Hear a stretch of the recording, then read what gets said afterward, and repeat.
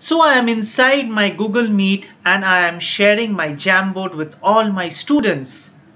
Okay, so today I'm going to discuss about how you can share a Jamboard with your students in Google Meet.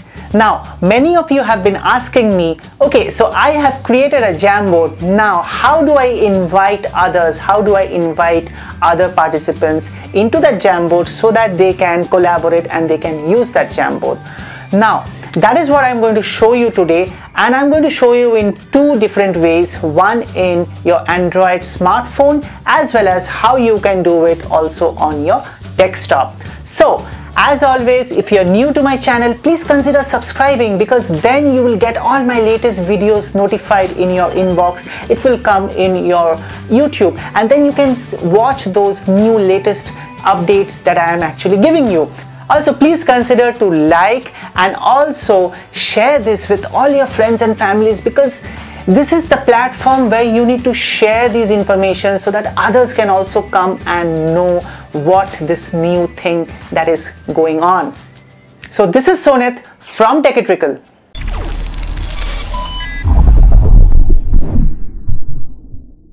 So I'm in the first option where I share the Jamboard using my smartphone. So I am inside my Jamboard app and there you can see all my jams that are there. So I click on the one of the jams and on the top there are those three dots. I click that where I have the option of adding the people as add people. I click that for me to add. Now I see I already have another person there. So I click that and you see that I there option on the right hand side. Once you click that, it gives you the option of edit view or no access. So no access means you are actually deleting that person from getting access, which I do now. And you see that he is gone. He's not more there and he's. So you see the option blue icon on the bottom. So if you click that, you can again go ahead and add another person there. So I do the same and I add another person. Right at the below bottom you find that pen icon. So you click that for him to give access as edit or view. So in this case I give him an edit option and, and then I submit it for it to update the permissions. So I already have given the permission for that person to get added. And in this way I can go ahead and add more people. But now the actual fun part begins when I will show you how to add it in the Google Meet. So I open up the Google Meet session and then once I am admitting the person who I want to see the Jamboard so I add that and then I do the present screen and I start the presentation. On the right you see the my student who is able to see the Jamboard. So now I actually opened up the Jamboard from my app and there you see that he is able to now see my screen and there goes my jams. Okay so that's how I actually shared through my Google Meet the Jamboard with all my students. And he can see all the slides everything that I am actually showing up. Now the next option that I have is where I sh share the Jamboard on the desktop. So I click on the three dots I click on the Jamboard and I open up all the jams that are there on my desktop. So I again go ahead and click the option or the jam that I want but before that you see on top here these ones are which are owned by me anyone or the ones that are not owned by me but in this case it is owned by me and if I click on owned by anyone so it could be anyone who has the jams but in my case it's just same. So I click on computers and accessories and there goes my jam and on top you see the one which says share. Now you see that it's only shared with one person. So I click that and once it opens up you see that there is one person there added. And on the right hand side you see it as a viewer. So if you click that you will be able to see the other options that are available here. So those are the editor viewer or you can make him the owner or you can remove him. So if you click on make owner you be very much sure that you want to make that other person the owner because then you might be removed from ownership. But I will definitely not do that so I click on no. I again click that and I make him the other and I remove him for example. Okay so if I click on remove he is actually deleted and he will not get the shared option. And he will not have this Jamboard shared with him.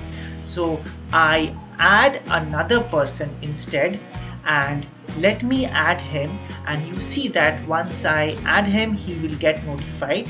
And you see the option here now as editor or viewer. So be very careful here the options that you want him to see.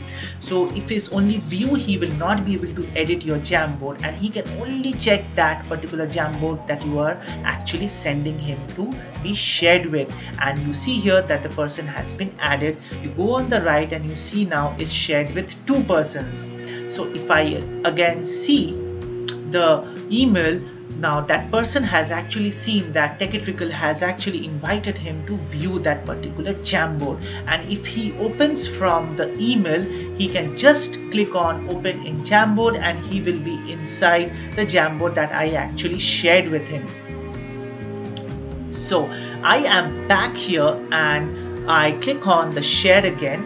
And now I what I will do here is I click on the dots here and I'll try to remove him here okay so that you can understand if you want to remove the share. And there you can see that he's gone okay. Now on the bottom you find the links that you are able to share with your community. So that's the place. So there are two options here. You can either have it restricted or you can share it with anyone anywhere in the internet so right now it is restricted. So if I click on change to anyone with the link you would see here that it says clearly that you can have this link shared with anyone else you can go ahead and have it as restricted inside your community with whom you want to just share. So anybody who is not having it shared will not be able to access this link. So I keep it as restricted. I go on top here and I click on that gear button there. Okay so if you click that it gives you the option where the editors can change the permissions and share or they can also have the omission the options where you can actually download print or copy. So it gives you those options. If you want to check it check it. If you do not want it don't check. But I will keep these options here. I go back and I am back in this particular site.